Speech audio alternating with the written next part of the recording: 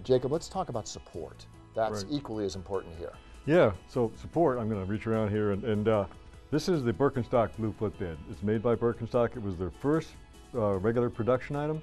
And this is uh, an arch support that like uh, one of the best arch supports on the planet. And it's got all the, the supports in here, the fifth metatarsal, the regular longitudinal arch, and the metatarsal arch. So it gives you a full support. It's only $59.99 and you can put it in almost anything you, you have, all your shoes.